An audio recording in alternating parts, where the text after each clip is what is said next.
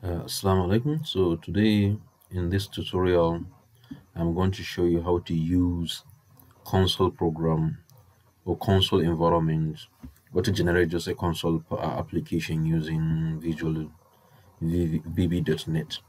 To do that, you just after launching your application, you click on new program.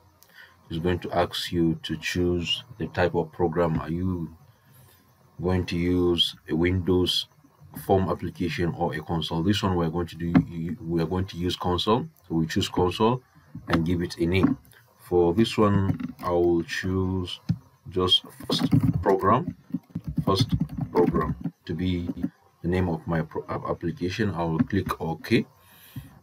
So this will just create a fresh blank application with only one module and under that particular module with only uh, another sub uh, what do you call it uh, routine uh, sorry not sub routine a, a function or a method a mem method with a mem method. It comes with a mem method. So all the, whatever you are going to do for this as a beginner we're going to write all our code within this main method. Since this program is just display a message so we use this console dot write line. So with the write line you can display a message to your uh, yeah, you can display message using console. For example let's just use hello world as our first program. So by writing this one if we run the application it will just display the message within console and just disappear even though the program worked but at least if you want to user if you want a user to see it you need to make the application to wait for an input that will allow you to read the message. So to do that you just write uh, read line and with an open uh, bracket you uh, with the open and closing bracket and leave it like this. This write line will display the message and this read line the function of this read line is to accept input from the user. So the application will wait for user to provide an input. After making that input since we're not going to use any user input. It should just end the program. So after running it will just display hello world. You see can you can as you can see the blinking cursor is waiting for an for a user to provide an input. So you can just press escape enter any key after enter it shows in the program. So what of if we can modify this application to allow user to provide an input? Maybe then later you display that particular input.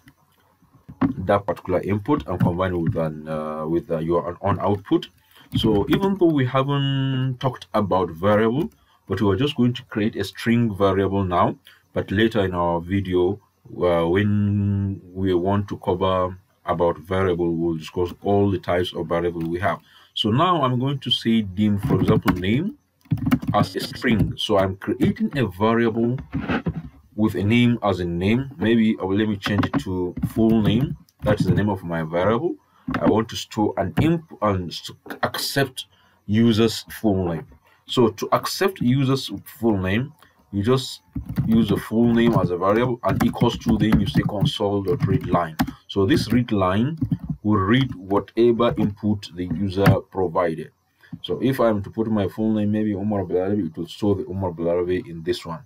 So under this one, we can remove this hello world and say, okay, we put the full name, full name here, we concatenate it with maybe hello world. Or we move this hello world and say welcome to my program.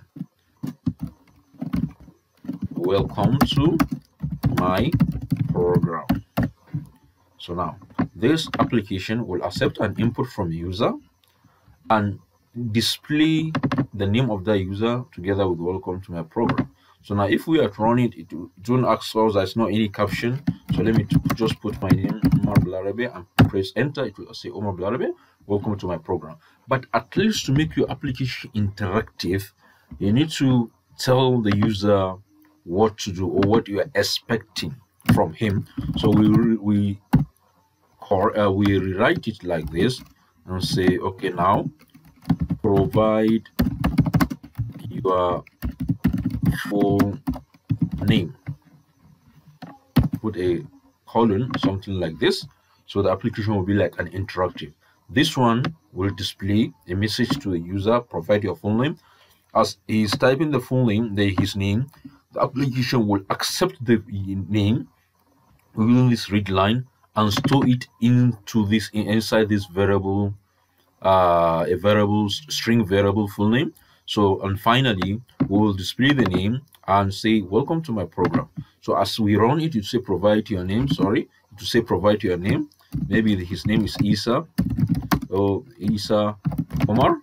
The moment when you press enter it will say okay isa omar welcome to my program. This is a simple application I just did in order to show you how to accept data from user, display it, and that's all. So thank you for watching.